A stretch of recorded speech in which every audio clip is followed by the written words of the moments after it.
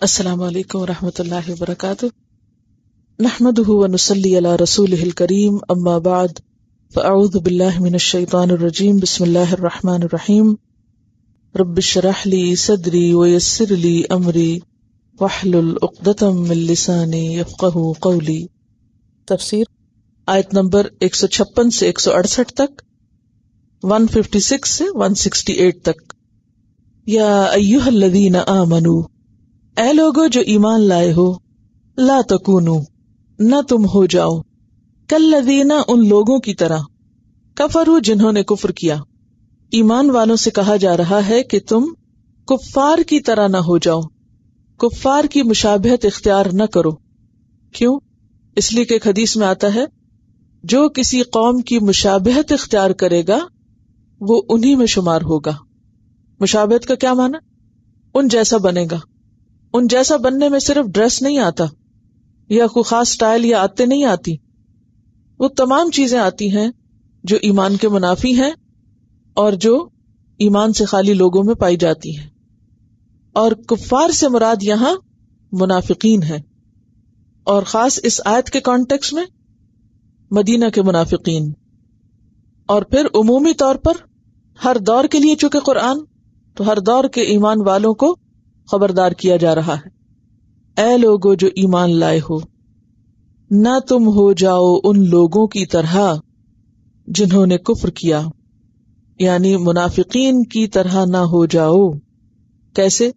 وقالو، اور انہوں نے کہا، کنہوں نے؟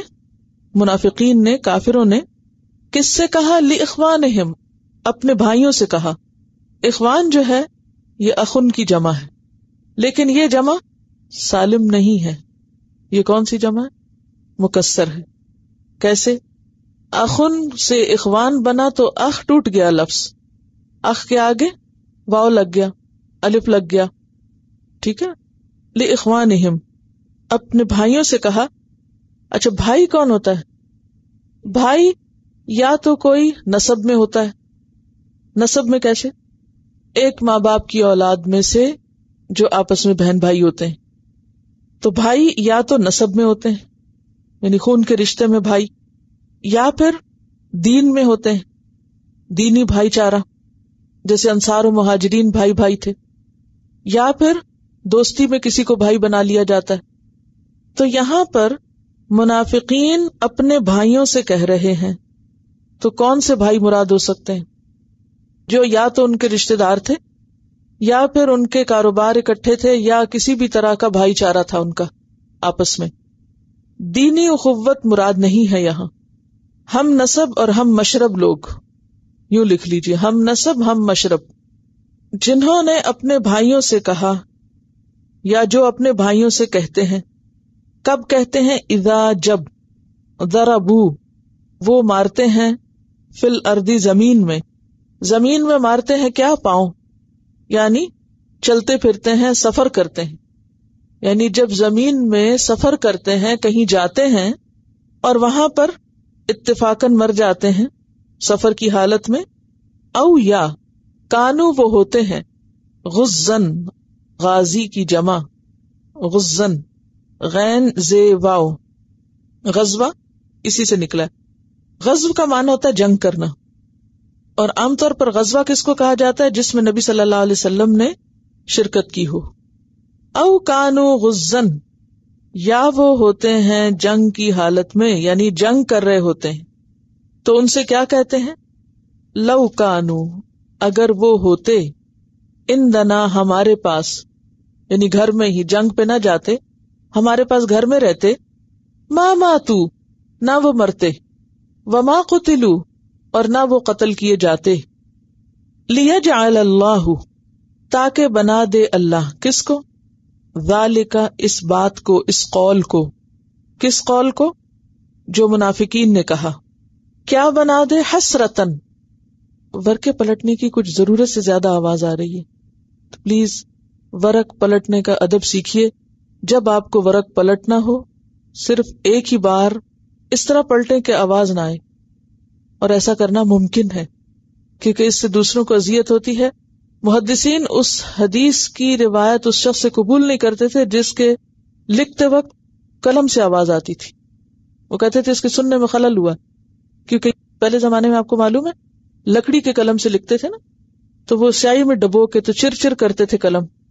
تو قلم کی چیخ یا چر جو تھی یعنی جو شخص اپنا قلم صحیح نہیں بنا کے لاتا تھا اور وہ کیئر لیس شخص ہوتا تھا اور اس کے قلم سے آواز آتی تھی، تو اس شخص سے بھی حدیث نہیں قبول کرتے تھے۔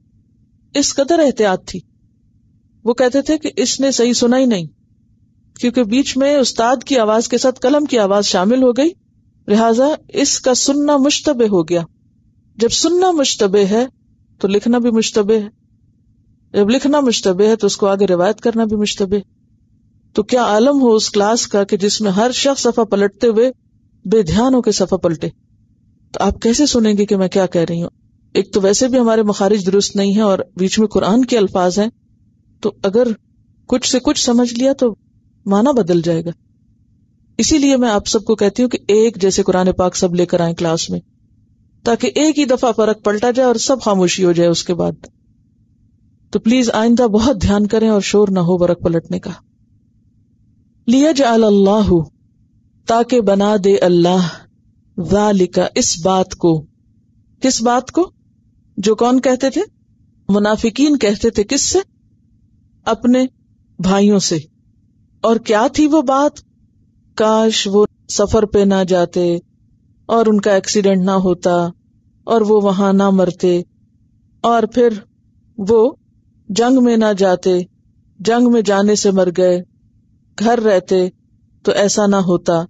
تو یہ باتیں بس باتیں ہی رہ جائیں گی پھر۔ یہ باتیں کیا بن جاتی ہیں؟ حسرت۔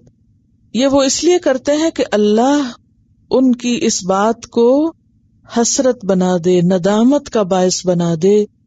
فی قلوبہم ان کے دلوں میں۔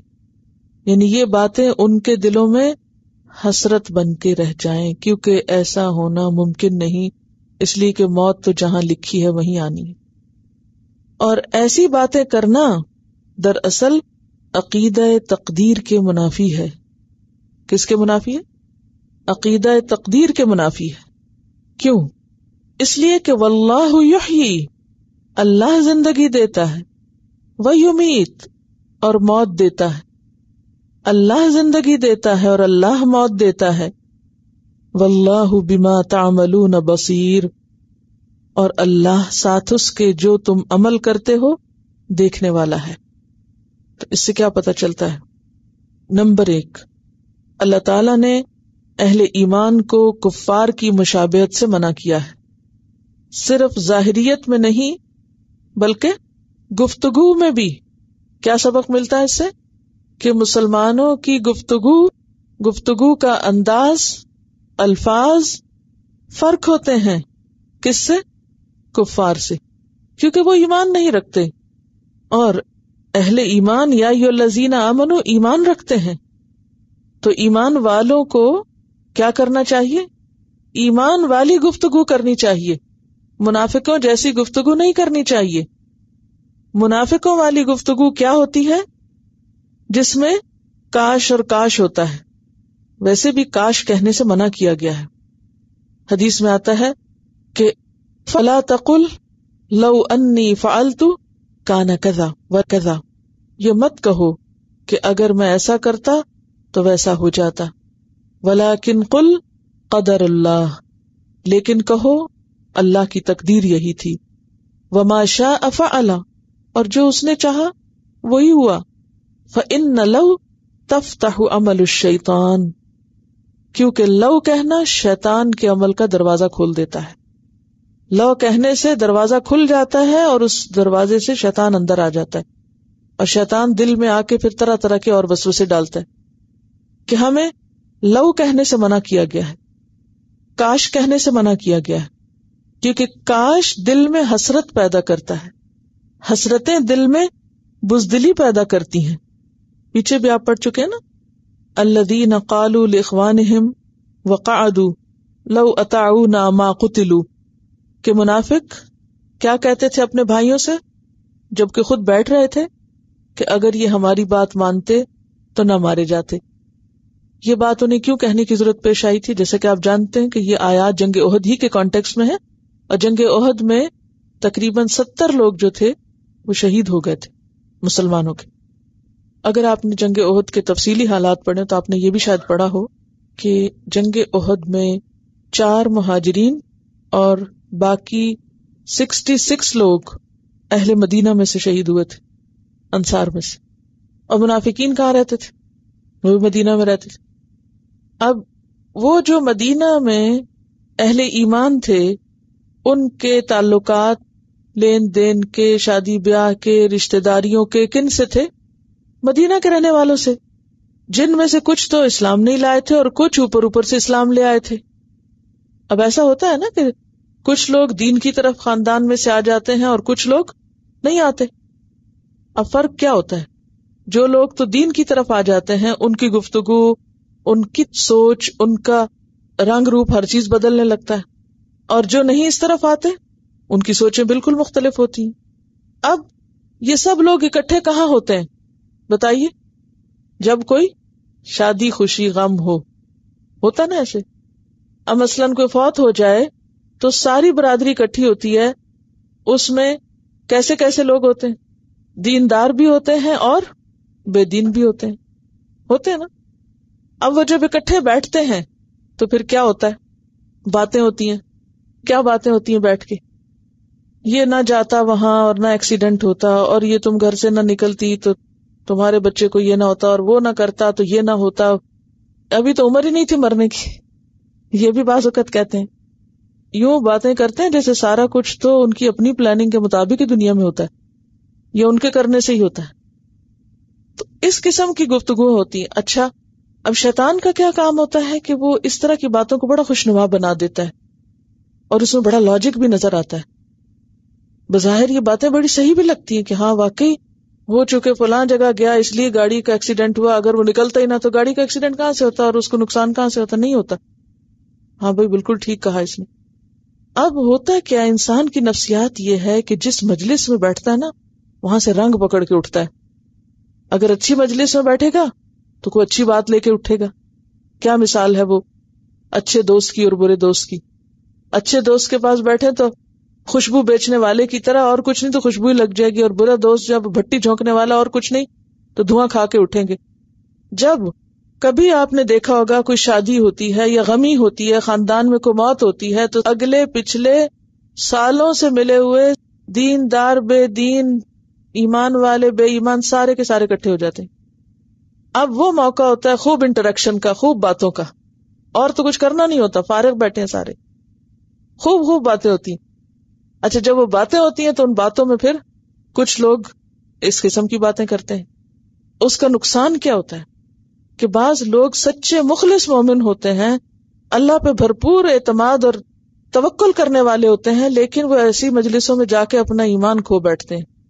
وہ بھی ان کا رنگ لے کے اٹھتے ہیں اور ویسی ہی باتیں کرنا شروع کر دیتے ہیں کہ ہاں واقعی یہ ہو گیا۔ اور بازو کا تو ہم بے سوچے، سمجھے دوسروں کی سنی ہوئی باتیں دہرانے لگتے ہیں۔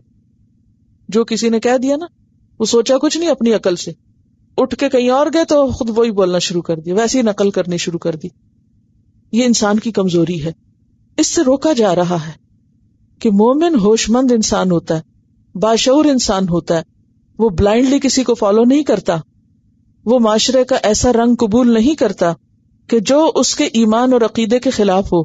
اور خاص طور پر جب کوئی فوت ہو جائے تو ہم سب کو اپنی گفتگو کو واچ کرنے کی ضرورت ہے، اپنے آپ کو خود حساب لینے کی۔ اور خصوصاً اگر کسی اچھے کاز میں یا کسی اچھے کام میں کسی کا کچھ نقصان ہو جائے تو اس وقت۔ اب موت تو ایک بڑی چیز ہے۔ اس سے چھوٹی چھوٹی باتیں بھی عام روزمرہ زندگی میں ہوتی ہیں۔ جب آپ دین کے رستے میں نکلتے خدا نخواستہ کوئی تکلیف آ جاتی ہے۔ گاڑی کو کچھ ہو جاتا ہے، پیچھے گھر میں کچھ ہو جاتا ہے بچے کو کچھ ہو جاتا ہے، کچھ بھی ہو سکتا ہے۔ تو عموماً کس کو بلیم کیا جاتا ہے پھر؟ دین کے کام کو۔ اور پڑھو دین، اور نکلو گھر سے، اور کرو یہ۔ بات یہ ہے کہ انسان پر اگرچہ لازم ہے اپنے آس پاس کا خیال کرنا، اپنی ذمہ داری کو پورا کرنا، لیکن پوری انسانی کوشش کے باوجود بھی ایسے رکھنے اور ایسی چیزیں رہ جاتی ہیں جن کو انسان کوشش کے باوجود کنٹرول نہیں کر سکتا۔ کیونکہ انسان کمزور ہے، بے بس ہے۔ یہ بتائیے کہ اس دنیا میں سارے کام کس کے عزن سے ہوتے ہیں؟ اللہ کے عزن سے ہوتے ہیں، اللہ کی مرضی سے ہوتے ہیں۔ اور ہوتا کیا ہے کہ ہر چیز اسباب کے پردے میں ہوتی ہے نا، کوئی سبب بن جاتا ہے۔ ہوتا اللہ کا عزن ہے، لیکن سبب بن جاتا ہے۔ مثلا آپ بھول جاتے ہیں۔ آپ نے کئی دفعہ کھانا چلایا ہوگا۔ کیسے چلتا ہے؟ بھول گئے۔ بس وہ آپ، جیسے کہ آپ کی قسمت میں نہیں تھا نا، آپ کو نہیں کھانا تھا وہ۔ اب اس کی وجہ سے گھر میں لڑائی ڈالنے کی کیا ضرورت ہے؟ بہت لوگ آپس میں صرف اسی بات پہ لڑ پڑتے ہیں۔ شوہر بیوی کو ڈانٹنا شروع کر دیتے تم نے کھانا کیوں جلا دیا؟ یا دودھ کیوں ابل گیا؟ ٹھیک ہے، اس میں کوتا بھی بازوقت ہوتی، لیکن بازوقت کوتا نہیں بھی ہوتی پوری کوشش کے باوجود انسان ہے، بھول جاتا ہے، بھول سکتا ہے۔ اور یہ بھول آپ دیکھیں، حضرت عائشہ کے بارے میں آتا ہے، جب ان پر واقع کا وہ الزام لگا تھا، تو ان کے بارے میں ان کی جو خادمہ تھی، ان سے پوچھا گیا کہ تم ان کے بارے میں کیا کہتی ہو؟ تو کہہ لیں گے اور تو کچھ نہیں، بس یہ بازو کا ہٹا گوند کے رکھ دیتی ہیں اور بھول جاتی ہیں اور بکری آ کے آٹا کھا جاتی ہے۔ اب آپ دیکھیے حضرت عائشہ جیسی سمجھدار خاتون جو امت کی استاد ہیں لیکن عام روزمرہ زندگی میں انسان ہے نا؟ چیزیں رکھ دی دھیان کہیں اور ہے، آٹا رکھ دیا، بھول گئے، کھا گئی بکری، نقصان ہو گیا کئی تو پیسے گھروں میں ہو جاتا ہے۔ اب ایسی چھوٹی چھوٹی باتوں کو اگر انسان یہ کہہ کے لڑائی ڈالنا شروع کر اگر تم یہ نہ کرتی تو یہ نہ ہوتا، اگر وہ فلاں ایسا نہ کرتا تو وہ ہوتا۔ نہیں، جو ہونی ہوتی ہے نا چیز، اس کے پیچھے کچھ سبب بن جاتا ہے۔ وہ بہانا بن جاتا ہے۔ وہ اصل میں ہونا تھا نقصان۔ وہ جانی تھی چیز۔ لیکن آپ کی بھول بہانا کوئی بن گیا۔ تو اسی چیز کا یہاں ذکر کیا جا رہا ہے کہ یہ ہر انسان کا امتحان ہے کہ اسے ظاہر کے پیچھے بھی اللہ کی قوت جو چھپی ہوئی ہے، جو ہمیں ویسے نظر نہیں آتی، لیکن اصل تو اللہ ہی کی قوت کام کرتی ہے، اس کو دیکھے۔ ہر انسان کے اوپر یہ لازم ہے۔ تو بات یہ ہے کہ ہمیں اس سے روکا جا رہا ہے کہ نقصان جب ہو جائے، کوئی فوتگی ہو جائے، کوئی چیز کھو جائے، کوئی مال چلا جائے، کوئی جان چلی جائے، تو ایسے موقعوں پر کبھی بھی لو اور کاش کی باتیں نہیں کرنی چاہیے اور کبھی بھی یہ نہیں کہنا چاہیے، اگر ایسا نہ ہوتا تو ویسا ہو جاتا۔ یہ باتیں سوائے حسرت کے اور کسی چیز کا اضافہ نہیں کرتی۔ اور لوگ کیوں بھول جاتے ہیں؟ کہ و اللہ و یمیت، زندگی موت اللہ کے ہاتھ میں ہے و اللہ بما تعملون بصیر، اور اللہ جو بھی تم عمل کرتے ہو دیکھ رہا ہے۔ آپ نے وہ آیت بھی سنی ہوگی سورت النساء آیت سیونٹی ایٹ۔ ائی نما یدرککم الموت۔ جہاں بھی تم ہوگے، موت تمہیں آ لے گی، پکڑ لے گی۔ ولو کن تم فی بروج مشیدہ۔ خواہ تم مضبوط قلعوں میں کیوں نہ بند ہو۔ سورت عال عمران آیت ون فورٹی فائیو وما كان لنفس ان تموت الا باذن اللہ کتاب مؤجلا کسی انسان کے لیے ممکن نہیں کہ وہ مر جائے، مگر اللہ کے اذن سے مقرر مدت لکھی ہوئی ہے۔ یعنی ہر ایک کی موت کا وقت لکھا ہوا ہے۔ لہذا جو لوگ جنگ عہد میں گئے شہید ہو گئے، ان کی موت لکھی ہوئی تھی، ان کو اس دن مرنا ہی تھا۔ وہ بچ نہیں سکتے تھے۔ وہاں نہ جاتے تو گھر میں اپنے بستروں پہ مر جاتے۔ تو بات یہ ہے کہ گفتگو انسان کی شخصیت کی آئینہ دار ہوتی۔ آپ کی گفتگو آپ کے باطن کی عکاس ہوتی۔ کیا ہوتی؟ کیا کہا میں نے؟ آپ کی جو بولی ہے، جو آپ بولتے ہیں، وہ کس چیز کا پتہ دیتی؟ ہے آپ کی شخصیت، آپ اندر سے کیا آپ کا ایمان کتنا مضبوط ہے؟ اور عام حالات میں بھی، لیکن خصوصاً غیر معمولی حالات میں انسان کے منہ سے کیا نکلتا ہے؟ کسی حادثے کے موقع پر، کسی نقصان کے وقت، کسی جذباتی صدمے کے وقت منہ سے کیا نکلتا ہے؟ یہی لمحات امتحان کے لمحے ہوتے ہیں۔ تو مومن کو منافقانہ گفتگو زیب نہیں دیتی۔ سچے مومن پر منافقوں والی باتیں نہیں سجا کرتی۔ ٹھیک ہے؟ تو اس سے کیا پتا چلتا ہے؟ کہ ایمان صرف دل میں نہیں ہوتا، بلکہ زبان پر بھی ہوتا ہے اور رویے میں بھی ہوتا ہے۔ تو بات یہ کہ انسان اپنی طرف سے نقصان سے بچنے کی پوری کوشش کرے۔ حدیث میں آتا ہے احرس علامہ کا وسطین بلّہ ولا تاجز اس چیز کی ہرس رکھو جو تمہیں فائدہ دیتی ہو۔ اور اللہ سے مدد مانگو۔ آجز بن کے نہ بیٹھ جاؤ۔ یعنی اس کا کیا مطلب ہے کہ یہ نہیں کہ اگر ہاں قسمت میں لکھا مرنا مر جائیں گے، لہٰذا علاج کرانی کیا ضرورت ہے؟ دوا کھانے کی کیا ضرورت ہے؟ جس دن موت آنی ہوگی، آ جائے گی۔ یہ نہیں ہے اس کا مطلب۔ کیونکہ دوسری طرف ہمیں کیا کہا گیا؟ احرس علامہ ينفعك جو چیز تمہیں فائدہ دیتی ہے اس کی ہرس رکھو، اس کے لیے کوشش کرو۔ ولا تاجز اور ماندے ہو کے نہ بیٹھ جاؤ۔ بے بس ہو کے نہ بیٹھ جاؤ، ہاتھ پاؤں چھوڑ کے مت بیٹھ جاؤ۔ کوشش نہ چھوڑ دو۔ پھر فرمایا ولا ان قتل تم فی سبیل اللہ کیا ہوا اگر تمہیں اللہ کے رستے میں موت آ گئی؟ اگر تمہیں اللہ کے رستے میں موت آ گئی، تم مارے گئے۔ او متم، یا خود مر گئے۔ یعنی کسی کے ہاتھوں مارے گئے، یا پھر خود مر گئے۔ تو موت تو آنی ہے۔ موت سے بچ کیسے سکتے ہو؟ موت دو ہی طرح آتی ہے نا۔ یا کوئی کسی کو مار دیتا ہے، یا کوئی خود مر جاتا ہے۔ ایسے ہی ہوتا ہے نا۔ یا کوئی حادثہ، اتفاق، اور یا پھر بستر پر۔ لیکن مرنا تو ہے۔ فرمایا کہ مرنا تو ہے۔ اگر تم اللہ کے رستے میں مارے گئے، دشمن کے ہاتھوں او مت تم یا خود مر گئے کسی صدمے سے، کسی بیماری سے؟ لمغفرت من اللہ، البتہ مغفرت اللہ کی طرف سے و رحمت اور رحمت خیر زیادہ بہتر ہے، مما یجمعون، ان سب چیزوں سے جنہیں لوگ سمیٹ رہے ہیں، جمع کر رہے ہیں۔ یعنی دنیا کا مال۔ مما یجمعون کیا چیز ہے؟ دنیا کا مال۔ تو گویا ایسی موت جو مغفرت کا سبب بنے۔ وہ کون سی موت ہے جو مغفرت کا سبب ہے؟ شہادت مغفرت کا سبب ہے۔ کیا آتا ہے حدیث میں؟ کہ شہید کے خون کا پہلا قطرہ جب زمین پہ گرتا ہے، تو کیا ہوتا ہے؟ اس کے سارے گنا معاف کر دیے جاتے ہیں، سوائے قرض کے۔ اگر اس نے قرضہ لیا ہوا نا، اور وہ ادا نہیں کیا، تو اس کا بدلہ اسے دینا ہوگا۔ کیونکہ حقوق العباد میں سے۔ تو شہید کے سارے گنا معاف ہو جاتے ہیں، کب؟ خون کا پہلا قطرہ زمین پہ گرتے۔ تو فرمایا، وہ موت جو بخشش کا سبب بن جائے اور پھر وہ رحمت رحمت کا سبب بن جائے۔ یعنی تمہاری موت ایسی موت ہو کہ جس کی وجہ سے تم پر اللہ کی رحمتیں آ جائیں۔ اور وہ کون سی موت ہوتی؟ جو اللہ کے رستے کی موت ہوتی ہے۔ خواہ وہ میدان جنگ میں ہو یا بستر پر ہو۔ جو ایک اچھے کام کے لیے نکلتے وقت انسان کو موت آئے۔ مثلاً، شہید کے علاوہ اور کس کی موت اچھی ہوتی؟ ہے طالب علم کی۔ حج کرتے ہوئے، اگر کوئی شخص حج کرنے کے لیے نکلے اور احرام کی حالت میں اس کی موت آ جائے تو قیامت کے دن کیا ہوگا؟ لبیک پکارتا ہوا اٹھے گا۔ تو یہ بھی اللہ کے رستے کی موت ہے۔ اسی طرح طالب علم جو اپنے گھر سے نکلتا ہے، تو کیا ہوتا ہے؟ ہر قدم پر اس کے لیے فرشتے کیا کرتے ہیں؟ اپنے پر بچھاتے ہیں۔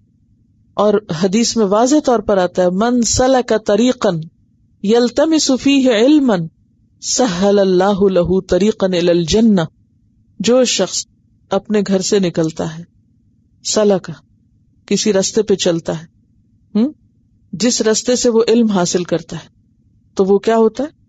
اللہ اس کے لیے جنت کا رستہ آسان کر دیتے ہیں۔ اس کے لیے کیا ہوتا ہے؟ جنت کا رستہ آسان ہو جاتا ہے۔ اگر اس رستے میں اس کی موت آ جائے تو شہادت کی موت ہوتی۔ اب اگر کوئی شخص گھر سے نکلے، پڑھنے جاتے ہوئے خدا نخواستہ اس کو ہو جائے، پھر آپ دیکھیں اس پہ لوگ باتیں کتنی کرتے۔ کوئی بازار جاتے ہوئے، کوئی دنیا کے کسی کام پہ جاتے ہوئے مر جائے، پھر بھی قبول کریں گے۔ لیکن اگر کوئی دین پڑھنے کے لیے گھر سے نکلے اور خدا نخواستہ کوئی اس کو نقصان ہو جائے، کوئی نہیں چھوڑے گا۔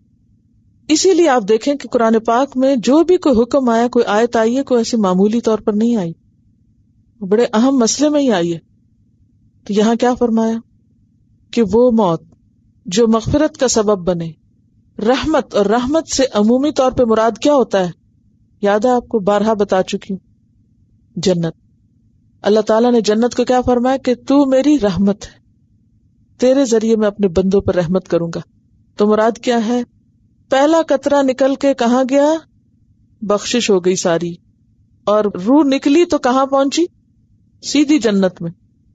تو ایسی موت جو مغفرت اور جنت میں لے جانے کا سبب بنے، اللہ کی رحمت حاصل کرنے کا سبب بنے، اس کے مقابلے میں دنیا کا مال و دولت اور دنیا کے گھر اور دنیا کی زینت اور دنیا کی چیزیں کیا حیثیت رکھتی ہیں؟ ذرا دونوں کو ویلو کریں برابر۔ اگر کر سکتے کر سکتے جنت کا بیان پڑھیں اور پھر دنیا کو سامنے رکھ کے دیکھیں۔ جنت عدن کو اللہ نے کیسے بنایا تھا؟ اپنے ہاتھوں سے کیسے بنایا تھا؟ اس کی ایک اینٹ سرخ، ایک سفید، ایک سبز۔ اور سب مٹی کی نہیں، کس کی؟ یاقوت کی، روبی کی۔ ہوں زمرت کی زمرت سبز ہوتا ہے نا؟ یاقوت سرخ ہوتا ہے۔ موتی کی سفید ہوتا ہے۔ اب آپ خود سوچیں کہ آپ کے گھروں میں سے کس کے گھر میں ایسی دیوار بنی ہوئی ہے کہ جو ہیرے موتی کی دیواریں ہوں۔ ہے کسی کے پاس؟ اس کے باوجود ہم دنیا کے گھروں میں مرتے ہیں۔ ان کو عزیز سمجھتے ہیں، جنت کی قیمت ہی نہیں سمجھتے کہ جنت بھی کوئی چیز ہے یا اس کا بھی کوئی فائدہ ہے۔ تو کیا فرمایا جا رہا ہے کہ دیکھو، وہ موت جو تمہیں ایسا گھر دے، وہ موت جس کے بدلے تمہیں اتنا اعلی مقام ملے، اللہ کی رحمت ملے، سارے گناہ معاف ہو جائیں۔ اس موت پہ تمہیں حسرت ہے؟ افسوس ہے؟ اس پہ باتیں بنا رہے ہو؟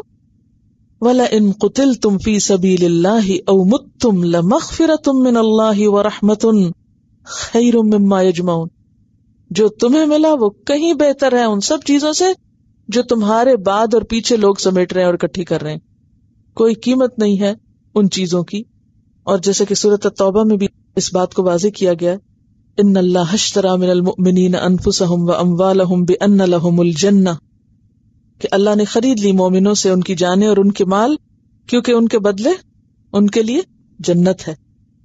تو اس سے بھی کیا پتا چلتا ہے کہ جنت کی قیمت کیا ہے؟ مومنوں کے مال اور جان۔ گویا آپ خود ہیں۔ جنت کی قیمت کون ہے؟ آپ خود ہیں۔ جب تک آپ اپنا آپ نہیں دیں گے، وہ نہیں پا سکیں گے۔ جنت کی قیمت، جنت کی کرنسی آپ خود اور ہم اپنے آپ ہی کے تو بچائے ہوئے اپنا آپ ہی تو نہیں دینا چاہتے۔ اپنا وقت نہیں دینا چاہتے اس رستے میں۔ اپنی جوانی نہیں دینا چاہتے۔ اپنی زندگی نہیں دینا چاہتے۔ تو پھر وہ کیسے ملے گا؟ اس لیے یہاں کیا کہا گیا؟ تم مر گئے، تم قتل کر دیے گئے، تم چلے گئے، تم نے اپنی جان دے دی۔ تو پھر کیا ہے؟ وہ تو دینی ہی ہے۔ کسی اچھے رستے میں دو۔ فی سبیل اللہ، جو جنگ فی سبیل اللہ ہوتی ہے خالص صرف دین کی سربلندی کے لیے۔ دیکھیے، جیسے ہم اگر یہ کہیں کہ کافر جنت میں نہیں جائیں گے، یہ ایک اسٹیٹمنٹ ہے، ٹھیک ہے؟ لیکن ہم یہ نہیں کہہ سکتے کہ فلاں کافر جنت میں نہیں جائے گا۔ بائی نیم نہیں کسی کو پکار کے کہہ سکتے۔ اور نہ ہی ایسی باتوں پہ جھگڑے کرنے۔ چاہیے اسی طرح جنرلی جب ایک بات ہوتی ہے کہ شہید جنت میں جائے گا، تو اس میں پھر آپ نے منع کیا کہ کسی شخص کو بائی نیم کہہ کے پھر کہا جائے کہ فلاں کو شہادت مبارک، جیسے ہم نے ایک واقعہ پڑھا کہ آپ نے فرمایا کہ اس پر تو آگ کی چھتری چھا رہی ہے کہ اس نے چیز چرا لی مال غنیمت میں سے۔ تو بائی نیم کسی کو جنت کا نہیں کہا جا سکتا، کسی کے اوپر جہنم کا فتوا نہیں لگایا جا سکتا لیکن جنرل اسٹیٹمنٹ کے طور پر۔ اسی طرح یہ تو کہا جا سکتا ہے کہ اللہ کی راہ میں جو جنگ کرے یا جہاد کرے وہ اللہ کے رستے میں، لیکن یہ کہنا کہ فلاں شخص کا فلاں جنگ میں شریک ہو کر فلاں مقام پانا، تو یہ ہم اس پر نہیں بات کر سکتے۔ قوم کے راستے میں یا دنیاوی مفادات کے لیے جنگ کرنا اللہ کے راستے میں جنگ کرنا نہیں ہوتا۔ اسی لیے آپ دیکھیں کہ یہاں ہر جگہ پر آپ کو یہی ملے گا۔ اللہ زین قطلو فی سبیل اللہ۔ ایک شخص آپ کے پاس ہے کہ ایک شخص حمیت کے لیے بھی لڑتا ہے اور اللہ کے لیے بھی لڑتا ہے۔ یعنی اپنے خاندانی وجہ سے یا بہادری کے لیے۔ تو آپ نے فرمایا کہ جو اللہ کے راستے میں لڑتا ہے، بس وہی دراصل فی سبیل اللہ ہے۔ پھر فرمایا ولا امت تم او قتل تم اللہ تحشرون۔ دونوں صورتوں میں اللہ کے پاس جانا ہے۔ کن دو صورتوں میں؟ موت کی صورت میں اور شہادت کی صورت میں۔ دونوں ذریعوں سے جانا ایک ہی اینڈ پہ ہے۔ کچھ لوگ شہید ہو کے جائیں گے وہاں اور کچھ لوگ مر کے جائیں گے۔ اگر تم شہید نہ ہوئے تو کیا ہوگے؟ مرو گے۔ تو جب دونوں ہی باتیں ایک اینڈ پہ لے جانے والی ہیں، تو کہاں بچو گے؟ تو بچا بچا کے نہ رکھ اسے۔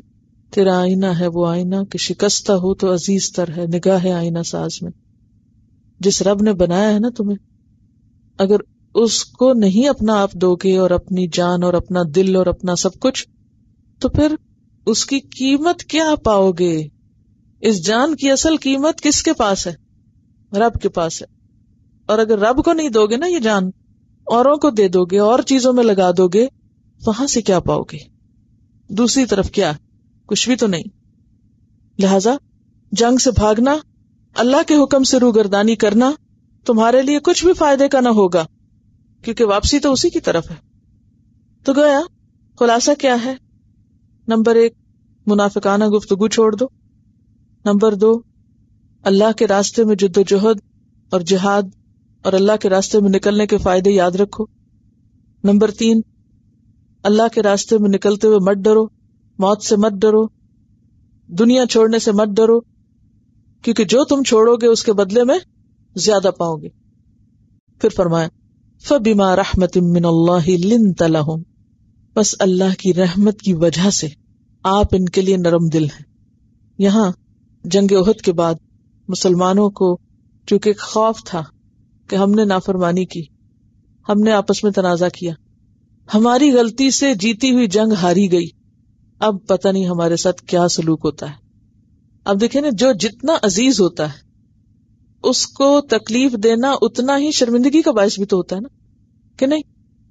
کچھ لوگ ہوتے ہیں ان کے ساتھ آپ جو بھی کریں آپ کو پرواہ نہیں ہوتی، لیکن کچھ لوگوں کے ساتھ آپ چھوٹی سی غلطی بھی کر جائیں تو کیا ہوتا ہے؟ بہت بڑی شرمندگی ہوتی ہے اور بہت بڑی ندامت اور بہت دل پہ بوجھ ہوتا ہے اور بہت ہی غم بھی لگ جاتا ہے انسان کو کہ میں نے اس کو ناراض کر دیا، اس کا دل دکھا دیا۔ اب آپ سوچئے کہ جس درجہ صحابہ کرام کی حضور صلی اللہ علیہ وسلم سے محبت تھی، وہ تو ہم سوچ بھی نہیں سکتے۔ جس درجہ محبت تھی، اس محبت کو سامنے رکھیے اور پھر اس غلطی کو سامنے رکھیے جو جنگ عہد میں انسان ہونے کے ناطے ہو گئی۔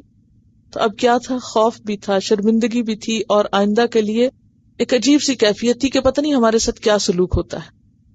تو اللہ سبحان و تعالی نبی صلی اللہ علیہ وسلم کی شان بیان کرتے ہیں کہ ٹھیک ہے تم سے غلطی ہوئی، لیکن تم اپنے رہنما کو، اپنے پیغمبر کو بہت عظیم پاؤ گے، اخلاق کے اعلیٰ درجے پہ پاؤ گے۔ جیسے کہ قرآن پاک میں آتا ہے وہ ان نقل اللہ خلق عظیم سورت القلم آیت چار سورت التوبہ آیت ون ٹو ایٹ میں آتا ہے، لقد جاءکم رسول من انفسکم عزیز علیہ ما انتم حریص علیکم بالمؤمنین رؤوف الرحیم کہ لوگوں تمہارے پاس ایک رسول تمہیں میں سے آیا ہے اس پہ بڑا گراہ گزرتا ہے کہ تم مشکل میں پڑو۔ وہ حریص ہے تمہارے بارے میں، مومنوں کے اوپر بہت ہی شفیق و رحیم ہے۔ تو نبی صلی اللہ علیہ وسلم اہل ایمان کے لیے بے حد مہربان تھے۔ بے حد محبت کرنے والے تھے۔ ایسا نہیں تھا کہ صرف لوگ آپ سے محبت کرتے تھے۔ آپ بھی اپنے ساتھیوں سے بے پناہ محبت کرتے تھے۔ بلکہ ہر ایک کو یہ گمان ہوتا تھا کہ آپ ہم سے زیادہ محبت کرتے ہیں۔ دوسروں کی نسبت۔ تو بات یہ ہے کہ محبت کا تعلق ہمیشہ دو طرفہ ہی ہوتا ہے۔ اور محبت انسانوں کے بیچ میں ہی ہوتی ہے اور محبت ہونے کے باوجود انسانوں میں اونچ نیچ ہو جایا کرتی ہے، ایک دوسرے کے حق میں غلطی بھی ہو جایا کرتی۔ لیکن مومن ہمیشہ وسیع دل کے تھے۔ جو جتنا بڑا ہوتا ہے، اس کا دل اتنا ہی بڑا ہوتا ہے۔ کسی بھی شخص کی بڑائی اس کی عمر کی وجہ سے نہیں ہوتی کہ وہ کتنی عمر کا ہے، تو وہ بڑا ہے۔ وہ تو ایک ظاہری چیز ہے نا کہ کوئی اتنا بڑا ہے، چالیس سال کا، پچاس سال کا ہے، یہ بال سفید ہو گئے، بڑا یا کوئی بڑا ہے کہ جو مال اس کے پاس بہت ہے، یہ ڈگری اس کے پاس بڑی ہے۔ نہیں، بڑائی کا تعلق انسان کے دل اور اس کے ضرف کی بڑائی سے بھی ہوتا ہے۔ بڑا حقیقت میں کون ہوتا ہے؟ جس کا دل بڑا ہوتا ہے۔ بڑے لوگ ہمیشہ بڑے دل والے ہوتے ہیں۔ کوئی بڑا بن نہیں سکتا جب تک اس کا دل بڑا نہ ہو، یہ یاد رکھیے۔ چھوٹے دل والے لوگ کبھی بڑے نہیں ہو سکتے۔ چاہے ان کی عمر کتنی زیادہ ہو، چاہے ان کے پاس مال کتنا ہی ڈھیر ہو، کسی کے دل میں ان کی عزت اور عظمت اور محبت نہیں ہو سکتی۔ کس کے لیے ہمارے دلوں میں عزت اور محبت ہوتی؟ ہمارے دل میں کس کی بڑائی ہوتی؟ ہے کس کو ہم بڑا سمجھتے؟ ہیں جس کا دل بڑا ہو۔ عموماً وہ ظاہری چیز ہے نا، مال و دولت بڑا ہو وقتی طور پر، لیکن جب اس نے مال و دولت سے آپ کو فائدہ نہ پہنچایا تو پھر آپ اس کو کتنا بڑا سمجھتے کچھ بڑا نہیں سمجھتے۔ کس کو ہم بڑا سمجھتے جس کا اخلاق اچھا ہو۔ اور اخلاق کس کا اچھا ہو سکتا ہے؟ جس کا دل بڑا ہو۔ اور دل بڑا ہونے کا مطلب کیا ہے کہ انسان دو کاموں سے پرہیز کرے۔ ایک تو یہ ہے کہ چھوٹی چھوٹی چیزوں کو مائنڈ نہ کرے۔ دوسروں کی چھوٹی چھوٹی غلطیوں کو ایشو نہ بنائے۔ اور دوسری بڑی بات یہ ہوتی ہے کہ انسان کسی کی غلطی کو اس طرح معاف کر دے گویا کی نہیں۔ یعنی انسان دوسرے کی بڑی سے بڑی غلطی معاف کرنے کی استطاعت رکھتا ہو۔ ایسا شخص بڑے دل والا ہوتا ہے۔ تو یہاں نبی صلی اللہ علیہ وسلم کی شان بیان کی جا رہی کہ فبما رحمت من اللہ لنت لهم۔ اللہ کی رحمت ہے خاص آپ پر۔ اللہ کا احسان ہے آپ پر کہ آپ ان کے لیے بڑے ہی نرم دل ہیں۔ لنتا لنتا کا لفظ جو نا، لین سے نکلا ہے۔ نرم مزاج ہونا۔ یعنی آپ ان کے لیے بہت نرم مزاج ہیں۔ یہ اللہ کی خاص رحمت ہے آپ پر۔ اور رعوف الرحیم آپ کی صفت بیان ہوئی تو رعوف رفت سے رفت باپ کی شفقت کو کہتے جیسے باپ کا اپنے بچے کی تکلیف پہ دل تڑپ اٹھتا ہے، اسی طرح پیغمبر کا دل اپنے ساتھیوں کے لیے تڑپ اٹھتا ہے، ایمان والوں کے لیے تڑپ اٹھتا ہے۔ تو یہ اللہ کی خاص رحمت ہے کہ آپ کے دل میں لوگوں کے لیے بہت نرمی ہے۔ آپ ان کے لیے تڑپتے ہیں۔ اور یہ دل کی نرمی حقیقت میں اللہ کی خاص رحمت کی علامت ہے کسی بھی انسان پر۔ نرم دل ہونا کیا ہے دراصل؟ اللہ کی خاص رحمت کے سائے میں ہونا۔ فبما رحمت من اللہ لنت لهم یہ اللہ کی بڑی خاص رحمت ہے کہ آپ ان کے لیے نرم دل ہیں۔ ولو کن تفزن اور اگر آپ کیا ہوتے فض ہوتے، فض، فے، زوئے زوئے، بد اخلاق۔ اصل میں فض کہتے ہیں اس گندے پانی کو جو آنتوں کے اندر غلازت کے ساتھ ہوتا ہے۔ کبھی بکرا ذبح ہو تو آپ نے دیکھا ہوگا کہ اوجری میں سے پانی بھی نکلتا ہے، گندگی کے ساتھ۔ اس پانی کے لیے فض کا لفظ استعمال ہوتا ہے۔ تو مراد کیا ہے؟ بد اخلاق، بد خو، بد کلام۔ اگر آپ بد اخلاق ہوتے، بد کلام ہوتے غلیز القلب، سنگ دل ہوتے غلیز کا لفظ غین، لام، زوئے سے ہے۔ غلزہ کہتے ہیں سختی کو۔ غلیز القلب، سنگ دل، سخت دل، قاسی القلب جس کو کہتے ہیں، جو کسی سے متاثر نہ ہو، کسی کا دکھ اس کو نہ تڑ پائے، کسی کے اوپر اس کے رحم نہ آئے۔ اگر آپ بد اخلاق ہوتے، سنگ دل ہوتے، تو کیا ہوتا؟ لن فدو من حولک۔ یہ سب منتشر ہو جاتے آپ کے آس پاس سے۔ لن فدو فی دعد دعد پیچھے میں نے آپ کو بتایا تھا یہ روٹ۔ اسی صورت میں۔ فدا فدا کس کو کہتے ہیں؟ چاندی کو۔ اور چاندی بھی کیا کرتی ہے؟ منتشر ہو جاتی ہے۔ زکات میں نکل نکل کے ختم ہو جاتی ہے۔ تو زہب سونا بھی چلا جاتا ہے اور چاندی بھی منتشر ہو جاتی ہے۔ ٹھیک ہے؟ تو لن فدو البتہ وہ کیا ہوتے؟ منتشر ہو جاتے، بکھر جاتے منحولک آپ کے آس پاس سے یعنی وہ ٹوٹ جاتے، متفرق ہو جاتے، ادھر ادھر چلے جاتے، پھر وہ آپ کے پاس نہ رہتے۔ تو یہ اللہ کی بہت خاص رحمت ہے کہ آپ نرم دل ہیں، خوش اخلاق ہیں۔ اگر بد اخلاق ہوتے، سنگ دل ہوتے، تو یہ لوگ آپ کے ساتھ ہی نہ بنتے، آپ کے ساتھ نہ رہتے۔ آپ کے مددگار نہ ہوتے۔ آپ کو معلوم ہے کہ نبی صلی اللہ علیہ وسلم کی جو تعریف پچھلی کتابوں میں آئی ہے تو رات انجیل وغیرہ میں، اس میں بھی آپ کی ان خوبیوں کا ذکر ہے کہ لئی سب فضن ولا غلیزن ولا سخا بن فل اسواقی ولا یرفا السیئة ولكن يعفو ويغفر کیا مطلب ہے اس کا؟ کہ آپ صلی اللہ علیہ وسلم یعنی وہ آنے والا نبی جو ہے، وہ کیسا ہوگا؟ لئی سب فضن وہ بد اخلاق نہیں ہوگا، ولا غلیزن نہ ہی سخت مزاج اور سنگ دل ہوگا، ولا سخا بن فلسواق اور نہ بازاروں میں شور کرنے والا، اونچا اونچا چیخنے والا اور ہنگامہ کرنے والا نہیں ہوگا۔ برائی کا بدلہ برائی سے نہ دے گا، لیکن وہ درگزر کرے گا، معاف کر دے گا۔ تو یہ ہے آپ کی صفت، یہ ہے آپ کا اخلاق۔ اگر آپ بد اخلاق ہوتے، سنگ دل ہوتے، تو آپ کے آس پاس سے چلے جاتے۔ تو اس سے کیا پتا چلتا ہے کہ دین کب مکمل ہوتا ہے؟ جب حقوق اللہ کے ساتھ حقوق العباد بھی ادا کیے جائیں۔ تو اس لیے پھر صحابہ کی اگرچہ غلطی تھی، لیکن کیا کہا گیا؟ فاف ہوں آپ ان کو معاف کر دیجیے کیونکہ اللہ تعالیٰ نے بھی ان کو معاف کر دیا تھا۔ کہاں سے پتا چلتا ہے کہ اللہ نے ان کو معاف کر دیا تھا؟ آیت کا نمبر بتائیے۔ One fifty five. جی۔ ولقد آف اللہ عنہم صحابہ کرام سے اللہ نے خود درگزر فرمایا تھا۔ اور اب آپ کو کہا جا رہا ہے کہ آپ بھی کیا کریں؟ معاف کر دیں۔ اب آپ دیکھیں کہ اللہ تعالیٰ کو صحابہ کرام سے کتنی محبت تھی۔ اگرچہ ان سے غلطی ہوئی تھی۔ لیکن پھر بھی یہ ہے اللہ کی رحمت۔ اللہ تعالیٰ ایک طرح سے سفارش کر رہے ہیں۔ کس سے؟ نبی صلی اللہ علیہ وسلم سے۔ کیا انہوں نے آپ کا دل دکھایا آپ ان کو معاف کر دیں۔ اس کو کہتے ہیں بڑا دل ہونا۔ اور صرف آپ معاف نہیں کریں، بلکہ وسطر لہم، ان کے لیے استغفار کریں۔ ذرا اپنے آپ کو رکھیے وہاں۔ کوئی شخص ہے جس نے آپ کو ستایا ہے۔ دوسرا کہتا ہے آپ اس کو معاف کر دیں۔ ٹھیک ہے؟ آپ سوچنے لگ جاتے ہیں اچھا معاف کر دوں؟ نہیں، اس نے مجھے بہت ستایا، میں نہیں معاف کر سکتا۔ پھر وہ آپ کو کہتا ہے اچھا معاف کر دو۔ پھر آپ سوچتے ہیں اچھا چلو، ٹھیک ہے، میں معاف کر دیتا ہوں۔ بس اس کے بعد مجھے اور کچھ نہ کہنا۔ اس سے آگے کچھ اور مطالبہ نہ کرنا۔ آگے یہ کہا جائے، اب اس کے لیے تم اللہ سے دعا کرو جس نے تمہیں ستایا۔ کہ اللہ اس کو معاف کر دے۔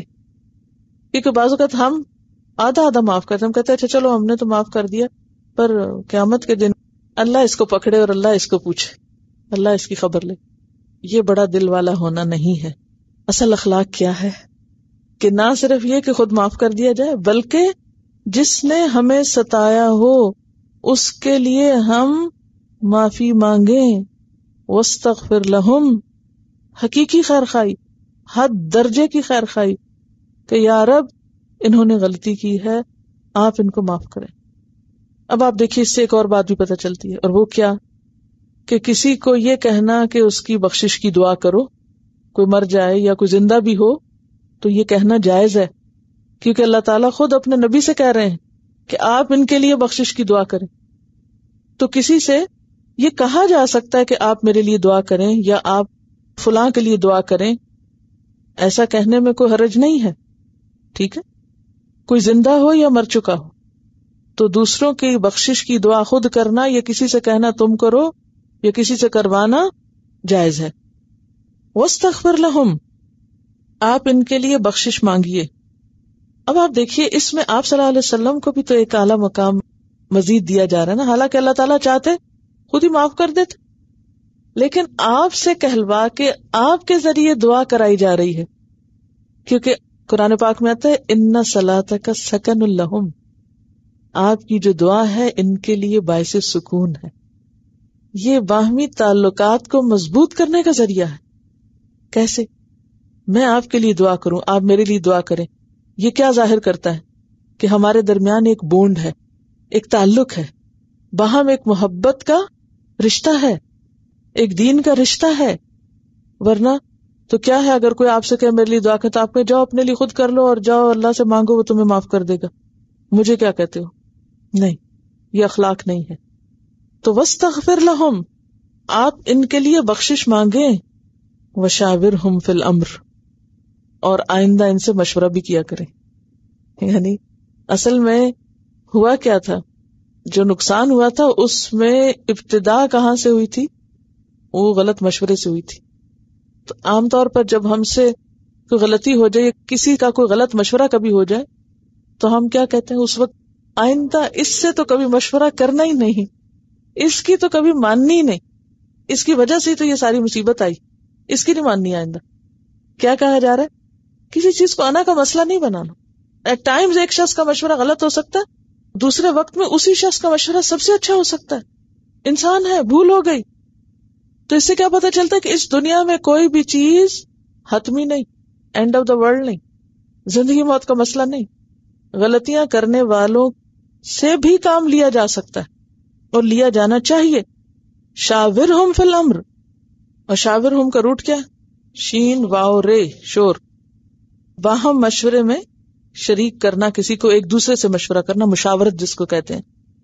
قرآن پاک میں آتا وہ امرحم شورا بین اہل ایمان کے معاملات آپس میں مشورے سے طے ہوتے ہیں۔ کوئی ایک شخص اٹھ کے فیصلہ نہیں کر ڈالتا۔ اور یہاں پر فل امر کی بات ہوئی۔ المر سے مراد کون سا امر ہوتا ہے؟ خاص۔ ال کس لیے ہے؟ خاص معاملات میں مشورہ۔ مثلاً کون سے خاص معاملات؟ کچھ معاملات ایسے ہوتے ہیں جن پر اللہ کی طرف سے حکم آ چکا ہوتا ہے، ان میں نہیں مشورہ ہوتا۔ مثلاً نماز کا وقت آگے آزان ہو گئی، اب آپ کسی سے مشورہ کریں اچھا تم مجھے کوئی مشورہ دو کہ میں نماز پڑھوں یا نہ؟ ابھی پڑھوں کہ کب پڑھوں؟ اس میں کوئی مشورہ نہیں۔ حالانکہ بڑا خاص معاملہ ہے۔ کچھ معاملات ایسے ہیں جس میں اللہ کا حکم موجود ہے، کوئی مشورہ نہیں، وہ تو کرنا ہی کرنا کچھ معاملات ایسے ہیں جو چھوٹے چھوٹے روز مرہ زندگی کے ڈسائڈیڈ ہوتے ہیں۔ اس وقت ناشتہ کرنا ہے، اس وقت چھٹی ہونی اس وقت گانا ہے، اس وقت جانا ہے۔ مثلاً آج مجھے آپ سے یہ مشورہ نہیں کرنا کہ مجھے بتایا میں کتنا سبق آپ کو پڑھاؤں یا یہ کہ کتنی جلدی آپ کو چھٹی دے دوں یا آپ کو کتنی دیر روک لوں۔ ان معاملات میں مشورہ نہیں کہ یہ ڈسائڈیڈ چیزیں ہیں۔ مشورہ کب ہوتا ہے؟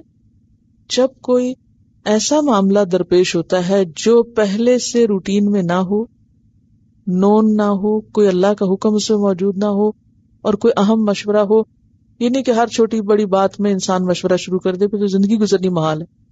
اب دیکھیں کہ پیچھے آپ نے سورت البکرا میں شوہر بیوی کے درمیان مشورے کی بات پڑی تھی بچے کو دودھ پلانے کے معاملے میں۔ یعنی گھریلو زندگی میں مشورہ ہوگا۔ سورت شورا میں وہ امرحم شورا بئی نہ ہو مسلمانوں کے بڑے معاملات جو ہیں، جیسے حکومت چلانے کا معاملہ ہے، تو اس میں بھی کیا ہوگا؟ شورا ہوگی۔ کوئی خلافت شورا کے بغیر نہیں ہو سکتی۔ پھر اسی طرح کوئی آرگنائزیشن ہو، کہیں بھی لوگ مل جل کر کچھ کام کر رہے ہیں، تو ان کو کیا کرنا چاہیے؟ مشورہ کرنا چاہیے۔ اور کن معاملات میں؟ کوئی بھی نیا ایشو نیا معاملہ، نئی چیز جو سب لوگوں سے متعلق ہو، جس میں باقی لوگوں کا بھی مفاد وابستہ ہو، جو ان سے بھی متعلق ہو۔ مثلاً، جو چیز آپ سے متعلق نہیں، اس میں تو آپ سے مشورے کی ضرورت نہیں، لیکن جو چیز آپ سے متعلق ہے، اس میں لازم ہے کہ آپ سے مشورہ کیا جائے۔ حضرت عائشہ رضی اللہ تعالیٰ عنہ فرماتی ہیں کہ میں نے نبی صلی اللہ علیہ وسلم سے بڑھ کر کسی کو مشورہ کرنے والا نہیں پایا۔ حالانکہ آپ کیا تھے؟ اللہ کے نبی تھے۔ لیکن آپ سب انسانوں سے بڑھ کے مشورہ کرنے والے تھے۔ چھوٹی چھوٹی چیزوں میں بھی آپ مشورہ کیا کرتے تھے یعنی جو دوسروں سے متعلق ہوتی تھی، اہم ہوتی تھی۔ اس کا فائدہ کیا ہوتا ہے؟ آپس میں ایک ٹرسٹ اور ایک بونڈ ڈیولپ ہوتا ہے۔ مشورہ کون نہیں کرتا؟ متکبر مشورہ نہیں کرتا۔ جو اپنے آپ کو بڑی چیز سمجھتا وہ کہتا ہے، جو میرے دماغ نے سوچ لیا، جو میری عقل نے کہہ دیا، بس وہی کافی ہے، باقی سب کو تو صرف یہی ماننا چاہیے۔ تو یہ درست نہیں۔ اور خاص طور پر جب ایک ٹیم کے اندر آپ کام کر رہے ہو ٹیم ورک، مشورے کے بغیر ممکن ہی نہیں۔ یعنی کوئی کام ہو نا جو آپ صرف اکیلے کر رہے ہیں، تو وہ تو آپ کر لیں اکیلے۔ لیکن جو کام صرف آپ اکیلے کو نہیں کرنا، اور لوگ بھی اس میں شامل ہیں چاہے وہ آپ کے مددگار ہیں، آپ کے ماتحت ہیں، لیکن ادنا سے ادنا بھی کوئی شخص اگر کسی ایک خاص پروجیکٹ میں شامل ہے، تو ان سب کے ساتھ بیٹھ کے ڈسکس کرنا اور ان سے مشورہ کرنا بے حد ضروری ہے۔ کیونکہ دنیا میں جو بڑے کام ہوتے ہیں، وہ مل کر ہی ہوتے ہیں، اکٹھے ہوتے ہیں، ٹیم ورک کے ساتھ ہوتے ہیں۔ وہ ایک شخص نہیں کر سکتا ہوتا۔ لیکن افسوس یہ کہ مسلمانوں میں سب سے زیادہ اسی چیز کی کمی ہے آج۔ اور ان کے پیچھے رہنے کی جتنی وجوہات ہیں، ان میں ایک وجہ، مل جل کے کام نہ کرنا، تفرقہ بازی، اور ایک دوسرے پر اعتماد نہ کرنا، اور ایک دوسرے پر شک کرنا، اور ایک دوسرے کو یعنی ایک طرف کر کے اکیلے فیصلے کرنے کی کوشش کرنا، جو کہ درست نہیں۔ بہرحال، آپ صلی اللہ علیہ وسلم نے فرمایا، جب کسی سے مشورہ لیا جائے تو اسے چاہیے کہ وہ وہی مشورہ دے جو وہ اپنے لیے پسند کرتا ہے۔ یعنی اگر وہ خود اس جگہ ہوتا تو وہ ویسا ہی کرتا۔ پھر اس میں آپ دیکھیے کہ اللہ تعالی سے بھی مشورہ کیا جاتا ہے اہم کاموں میں۔ اور وہ کیا؟ استخارہ۔ ایک کسٹ ہے اس پر مشورہ کیوں ضروری ہے؟ اس میں بہت ڈیٹیل کے ساتھ سارے مشورے کے فائدے نقصان بتائے گئے ہیں۔ اس کو اگر آپ سن لیں تو انشاءاللہ فائدہ ہوگا۔ انہیں آپ دیکھیے کہ جنگ عہد میں ناکامی کے بعد جن خاص کاموں کا حکم دیا گیا ہے، ان میں سے مشورہ کرنا ہے۔ فعدا ازم تھا پھر جب آپ عزم کر لیں، عزم کا کیا مانا ہوتا ہے؟ پکا ارادہ، خالی ارادہ نہیں، پکا ارادہ کر لیں۔ یعنی مشورہ کرنے کے بعد جب آپ کسی کام کے کرنے کا پکا ارادہ کر لیں، فتوکل اللہ۔ تو پھر کیا کرے اللہ پہ بھروسہ کرے پھر یہ نہ کرے کہ دوبارہ اس کام کو چھوڑ دیں اور اس پلٹ آئیں۔ کیوں؟ جنگ عہد کے دن آپ نے کیا کیا تھا؟ جب آپ نے صحابہ سے مشورہ کیا، آپ کو یاد ہے کہ جنگ بدر میں بھی مشورہ کیا تھا، اور اس وقت صحابہ نے کیا کہا تھا؟ آپ ہمیں حکم دیں کہ سمندر میں کودو ہم وہاں کود پڑیں گے۔ صحابہ کرام نے خود مشورہ نہیں دیا تھا، بلکہ سب کچھ آپ پہ چھوڑ دیا تھا۔ اچھا جنگ عہد میں صحابہ نے مشورہ دیا تھا ہاں؟ اور وہ مشورہ کیا تھا؟ شہر سے باہر نکل کے جنگ کرنے کا۔ حالانکہ آپ دل سے راضی نہیں تھے اس پر۔ لیکن جب آپ نے اکثریت کی رائے دیکھی، تو پھر آپ نے بھی اپنا ارادہ بدل لیا۔ صحابہ کے مشورے پر عمل کیا۔ جب آپ صلی اللہ علیہ وسلم وردی پہن کے باہر آ گئے زیرہ پہنی ہوئی تھی نا آپ نے لوہے کی، لوگ کچھ پشمان ہوئے کہ ہم نے آپ کو کیوں فورس کیا ہے؟ وہ دل میں ایک ندامت سی آئی کہ ہم نے آپ کو فورس کیا، باہر نکلنے پہ آپ راضی نہیں تھے۔ تو بعض لوگوں نے پھر آپ کو ایک اور مشورہ دیا اور وہ کیا؟ جیسے آپ کا جی چاہے کر لے، ہم آپ کو کچھ نہیں کہتے۔ اچھا۔ تو انہوں نے آپ کو پھر یہ کہہ کے روکنا چاہا، آپ کے قدم ڈگمگانے چاہے۔ تو نبی صلی اللہ علیہ وسلم نے فرمایا، کسی نبی کے لیے زیبا نہیں کہ جب اس نے زرا پہن لی ہو تو بغیر جنگ کے اتار دے۔ اب نہیں یہ ہو سکتا۔ فضا ازم تھا فتوکل اللہ اب قدم باہر نکال لیا، اب واپسی نہیں۔ اس کی کیا اہمیت ہے کہ جب آپ مشورے کے بعد ایک کانسنسس پہ پہنچے، ایک نتیجے پہ پہنچے، پھر آپ اس کام کو کر لیں۔ اب ایگزیکشن کے مرحلے پر آ کر ڈگمگائے نہیں۔ کیوں؟ یعنی اگر آپ کا مائنڈ کسی ایک چیز پر پھر سیٹ نہیں ہوگا تو آپ دل جمی کے ساتھ کام کر ہی نہیں سکتے۔ دیکھے نا، آپ سب سے ایک چیز مل کے طے کی گئی، مشورہ کیا گیا اچھا ہم یہ کام کر لیں۔ آپ نے کہا ہاں کر لیں۔ اب کام ہونے لگا۔ جب ہونے لگا تو اب آپ کو کوئی اور خیال آ گیا بیچ میں سے۔ اب آپ پیچھے سے پکڑ رہے نہ نہ کریں۔ وہ ہمارا خیال یہ ہے کہ یہ ٹھیک نہیں ہوگا۔ ہوں اب کیا ہے؟ اب ڈاما ڈول ہو گئے۔ اب جو کرنے والا جو آگے لیڈر ہے وہ بھی کیا ہوگا؟ وہ بھی پریشان ہوگا۔ اور جو پیچھے لوگ ہیں وہ بھی چھ میں گوئیاں کریں گے۔ آدھے ادھر بڑھ جائیں گے، آدھے ادھر بڑھ جائیں گے۔ آپس میں تفرقہ بازی اور ایک دوسرے کے ساتھ کھینچا تانی شروع ہو جائے گی۔ یہیں سے پھوٹیں پڑتی ہیں، یہیں سے دل ٹوٹتے ہیں۔ اور ویسے بھی جب کوئی چیز مشورے سے طے ہو، اگر اس کو پلٹانا ہو تو پھر اکیلے نہیں پلٹایا کرتے۔ کیسے کرتے؟ سب کے ساتھ دوبارہ واپس پلٹتے ہیں۔ پھر باقی لوگوں کی بھی رائے لینا ضروری ہوتی ہے۔ تو یہاں پر کیا فرمایا جا رہا ہے؟ فدا اعظم تھا جب سب کے مشورے سے آپ نے ایک ارادہ کر لیا، فتوکل اللہ تو پھر اللہ پہ بھروسہ کریں۔ اور توکل کا کیا مانا ہے؟ کہ معاملہ اللہ کے سپرد کر دیں۔ اور توکل میں احتیاط بھی شامل ہے۔ جیسے صورت النساء میں آتا خزو ہزرکم اپنا بچاؤ رکھو۔ وہ عید الحم مستتا تم صورت الفال آئے سکسٹی میں آتا ہے کہ دشمن کے مقابلے کے لیے تیاری پوری رکھو۔ حج کے موقع پہ آتا تزود فن خیر زاد تقوا زادرا لے لیا کرو کہ بہترین زادرا تقوا ہے۔ حدیث میں آتا ہے، اے و توکل، پہلے باندھو پھر توکل کرو۔ تو توکل کا مانا کیا ہے؟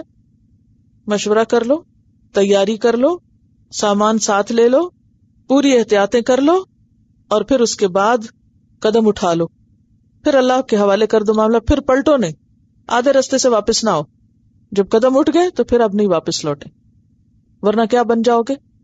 کھیل۔ تمہارا وقار دوسروں کی نگاہوں میں ختم ہو کر رہ جائے گا۔ تم قابل اعتماد نہیں رہو گے۔ ان اللہ یحب المتوکلین۔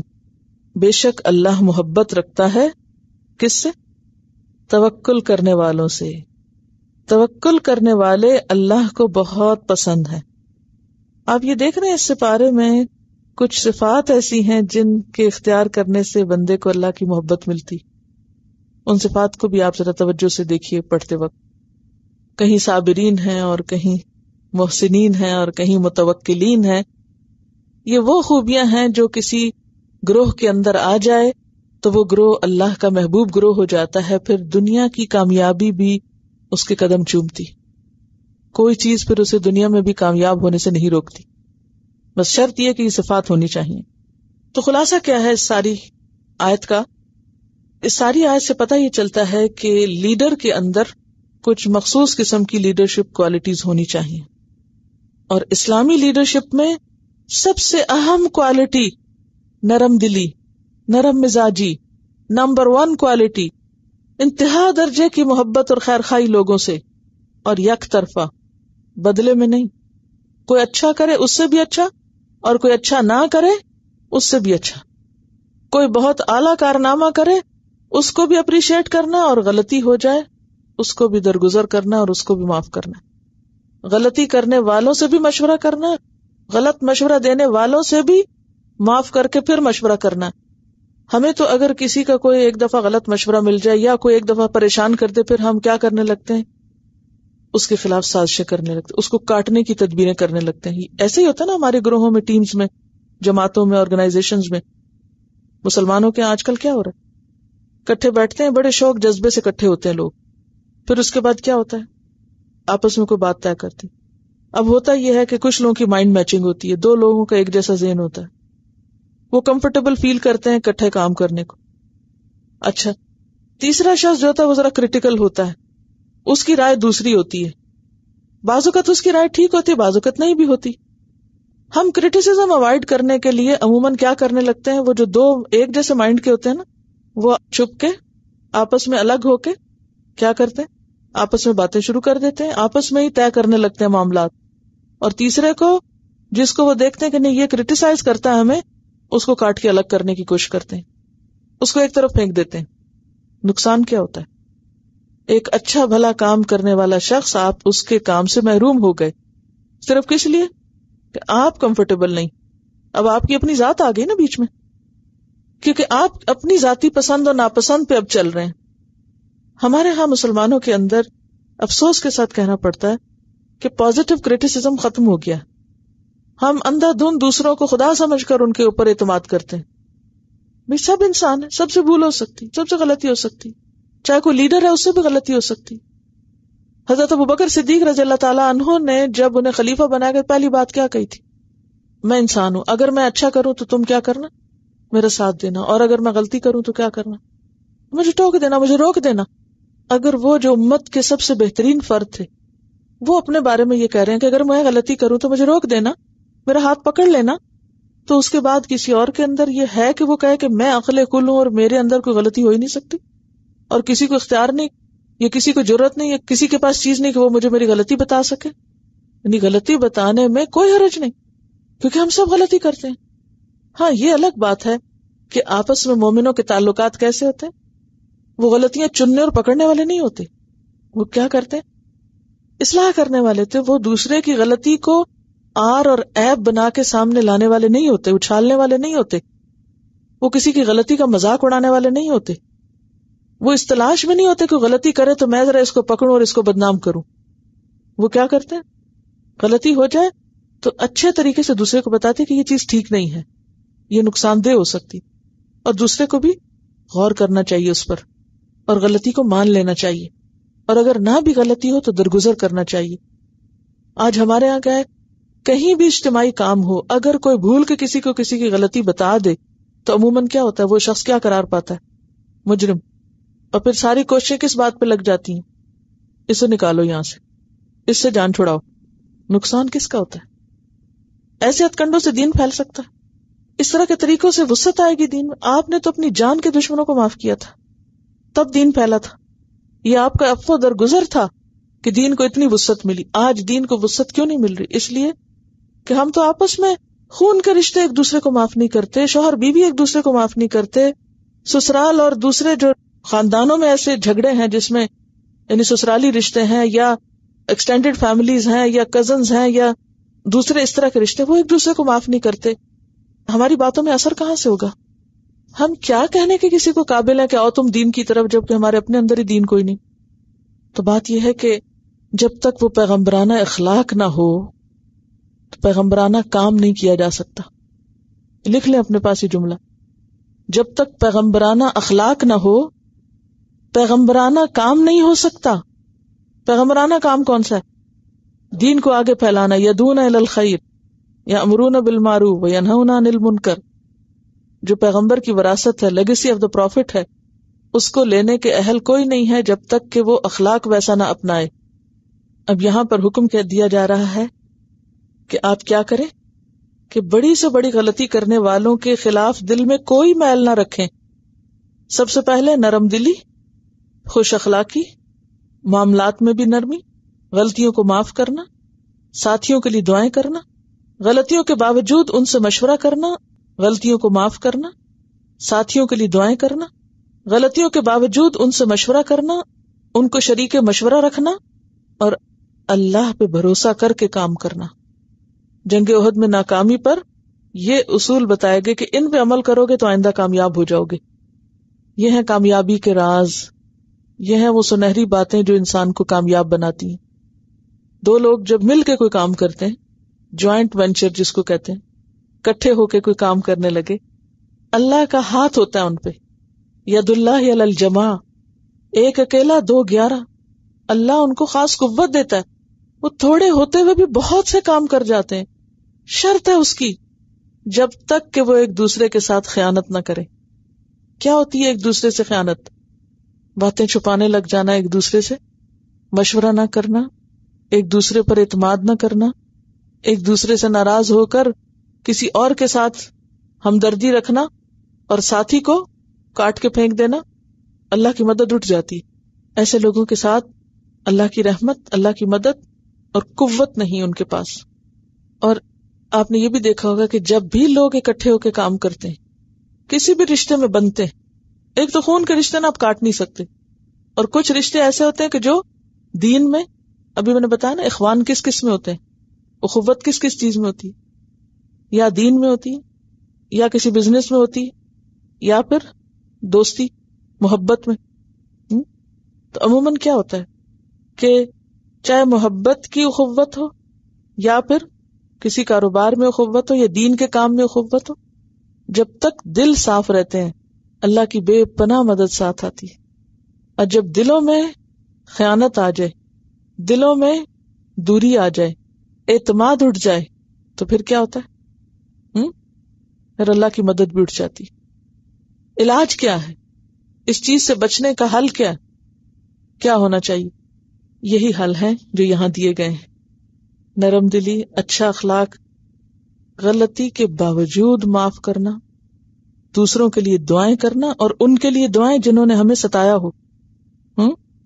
یار اب تو اس کو معاف کر دے۔ تو گویا، نرم دلی، نرم گفتاری افو درگزر، مشورہ، توکل۔ پوری طرح سمجھ گئے بات؟ اچھی طرح؟ عمل کے لیے یا صرف امتحان کے لیے دنیا کے؟ کاغذی امتحان کے لیے۔ تو اس میں دیکھیے کہ جب مشورہ ہوتا ہے نا تو صرف ایک کا تھوڑی ہوتا ہے۔ وہ اس کو الگ نہیں کریں گے۔ لیکن جب ایک دفعہ تجربہ ہو جائے کہ اس کا مشورہ غلط ہے اور وہ اس کی سمجھ ہی نہیں ہے یعنی اس کے باقی بھی کرائم پتہ چلیں گے نا، تو ٹیم میں صرف ایک وہی تھوڑی ہوگا۔ چار اور بھی تو سمجھدار ہوں گے نا۔ کیونکہ ٹیم صرف دو ہی لوگوں کی تو نہیں ہوتی۔ ٹھیک ہے؟ یا تو یہ نا کہ کوئی آپ کاروبار کر رہے ہیں، دو لوگ مل کے کر رہے ہیں، اور جب آپ نے دیکھا کہ دوسرا شخص اہل نہیں، تو آپ شراکت ختم کر دیں۔ کوئی مجبوری ہے؟ دین کے کام میں صرف دو لوگ نہیں ہوا کرتے، وہ تو بڑھتا جاتا ہے۔ دو، چار، پانچ، سات، جتنے بھی۔ اب اس میں اگر پانچ اچھے مشورے دینے والے اور ایک تو میجورٹی کو دیکھا جائے گا نا، یا اچھے مشورے والے کو دیکھا جائے گا، تو وہ تو اللہ نے انسان کو عقل دی ہے، مومن ایک سوراخ سے دو مرتبہ نہیں ڈسا جاتا۔ حالات کو سامنے رکھ کے ہی فیصلہ کیا جائے گا۔ اور پھر آپ دیکھیے کہ کسی شخص کی امانت یا دیانت صرف ایک مشورے کے وقت میں تو نہیں ہوتی، وہ عام روزمرہ زندگی میں بھی تو معاملہ اس کے ساتھ ہو رہا ہوتا ہے۔ اور سب سے بڑی بات یہ کہ دین کا کام دین کی تعلیم کے بغیر نہیں ہوتا۔ اور اگر یہ ساتھ سلسلہ چلتا رہے تو لوگوں کے اندر کی غلطیاں بھی دور ہوتی رہتی ہیں اور پھر وہ جان بوجھ کے غلط مشورے نہیں دیتے اور اگر پتا چل جائے تو مجبوری نہیں ہے کہ ضرور اس کو قبول کیا جائے۔ پھر فرمایا سرکم اللہ فلا غالب الکم یعنی یہ اخلاق اپناؤ گے تو کیا ہوگا؟ اللہ کی مدد آ جائے گی۔ اللہ کی مدد کب آئے گی؟ جب تمہارے اندر یہ اخلاق ہوگا۔ اور یاد رکھو سرکم اللہ اگر اللہ تمہاری مدد کر دے تو پھر کیا نہیں ہوگا؟ فلا غالب الکم تم پہ کوئی غالب نہیں آ سکتا۔ کیوں؟ کیوں نہیں آ سکتا کوئی غالب؟ کیونکہ سب سے بڑی طاقت ہی اللہ کی طاقت ہے۔ اللہ کی مدد سب سے بڑی مدد ہے۔ جب وہ آ گئی، کوئی غالب نہیں آئے گا۔ لیکن اس کے آنے کی کچھ شرائط ہے اور وہ شرائط پیچھے گزر چکی۔ وہ اور اگر وہ چھوڑ دے تم کو، کون؟ اللہ۔ اور اللہ کیوں چھوڑتا ہے بندے کو؟ جب بندہ خیانت کرتا ہے یا بد اخلاقی اور ناشکری کرتا ہے، تو اللہ تعالیٰ پوچھ رہے فمن ذلزی کون ہے پھر وہ جو ینسرکم من تمہاری مدد کرے گا اس کے بعد۔ پھر اور کون تمہاری مدد کرے گا؟ پھر کس سے مدد لوگے؟ وہ اللہ فلیتوکل المؤمنون۔ اور اللہ پر پس چاہیے کہ توکل کیا کرے مومن۔ مومنوں کو اللہ پر توکل کرنا چاہیے۔ اور توکل علاج ہے ان ساری کمی کو تاہیوں کا جو انسانی نہ سمجھی اور نا عقلی کی وجہ سے ہوتی ہیں یا بے عقلی کی وجہ سے ہوتی ہیں۔ یا بعض اوقات کسی کے غلط مشورے کی وجہ سے ہو سکتی ہیں۔ پھر فرمایا وہ ماں کا نبی کسی نبی کے لیے جائز ہی نہیں۔ کہ وہ خیانت کر جائے۔ یغل کا لفظ جو ہے، غین لام لام سے ہے۔ خیانت یعنی مطلقاً خیانت کے لیے استعمال ہوتا ہے۔ مطلقاً کا کیا مطلب ہے؟ ایبسولوٹ یعنی کسی بھی قسم کی خیانت۔ اور خصوصاً اسپیشلی مال غنیمت میں خیانت۔ یعنی ایسے خزانے سے چوری کرنا جو کسی ایک شخص کی ملکیت نہ ہو، بلکہ بہت سے لوگوں کی ملکیت ہو، مشترکہ ملکیت ہو۔ کسی نبی کے لیے جائز نہیں کہ وہ خیانت کر جائے، کہ وہ کبھی کوئی چوری کرے یا کوئی چھپائے یا وہ خیانت کرے۔ اب اس چیز کا کیا تعلق پچھلی آیات سے؟ بعض روایات میں آتا ہے کہ جب ابتدا میں غزب عہد میں مسلمانوں کو فتح نصیب ہوئی اور وہ مال غنیمت اکٹھا کرنے لگے، تو عبداللہ بن جبیر کے ساتھیوں کے دل میں یہ خیال پیدا ہوا کہ اب ہمیں بھی درا چھوڑ کر اس لوٹ مار میں شامل ہونا چاہیے۔ فکر کیا ہوئی تھی وہ کیوں اترے تھے وہاں سے؟ کہیں ایسا نہ ہو کہ ہمارا حصہ ہی نہ لگے اور ہم پیچھے رہ جائیں۔ تو ہم جا کے خود ہی سمیٹیں۔ کیونکہ دور جاہلیت میں ایسے ہی ہوتا تھا۔ کیا؟ کہ جب جنگ میں لوگ جاتے تو جس کے ہاتھ جو لگتا تھا اسی کی ملکیت ہوتا تھا۔ اسلام نے آ کے کیا کیا؟ کہ سوئی دھاگا بھی اگر کسی کو میدان جنگ میں ملا ہے، حقیر سے حقیر چیز بھی تو وہ کیا کرے؟ لا کے ایک جگہ جمع کرے۔ اور پھر جو اللہ نے حصے مقرر کیا اس کے مطابق اس کو تقسیم کیا جائے۔ یعنی کوئی خود سے آپد آپی کر کے خود سے خود نئی چیزیں سمیٹ سکتا تھا۔ وہ سب کا مشترکہ ہوتا تھا۔ کیونکہ کاز ایک ہے، مشن ایک ہے۔ اب وہ درا چھوڑنے کا سبب جو چیز بنی تھی، وہ یہ گمان تھا کہ کہیں ہمارا حصہ نہ رہ جائے۔ تو اس شبے کو دور کرنے کے لیے آیت نازل ہوئی کہ تم نبی سے ایسی خیانت کی توقع رکھتے ہو۔ کہ وہ تمہارا حصہ نہیں دے گا یا اور لوگ تمہارے حصے کو لے جائیں گے؟ تو فرمایا کہ وما کان علی نبی امبیا تو اعلی اخلاق کے مقام پر ہوتے۔ ان کا خلق نظیم اس لیے نبی کے بارے میں تو ایسا سوچا بھی نہیں جا سکتا کہ وہ مال غنیمت میں کوئی خیانت کرے گا۔ وہ میں یغل اور جو بھی خیانت کرے گا۔ یعنی نبی تو نبی نبی کے بعد کوئی اور بھی جو خیانت کرے گا۔ تو اس کا انجام کیا ہوگا؟ یا بما غلہ یوم القیامہ۔ وہ لے کر آئے گا جو بھی اس نے خیانت کی ہوگی قیامت کے دن۔ قیامت کے دن وہ اس کے سر پہ لدا ہوا آئے گا۔ وہ اس کو اٹھا کے لانا پڑے گا۔ حضرت عبادہ بن سامد سے روایت ہے کہ نبی صلی اللہ علیہ وسلم نے انہیں زکوٰۃ وصول کرنے کے لیے مقرر کیا۔ کس کے لیے؟ زکوٰۃ اکٹھی کرنے کے لیے۔ اور فرمایا، اے ابو الولید اللہ سے ڈرتے رہنا۔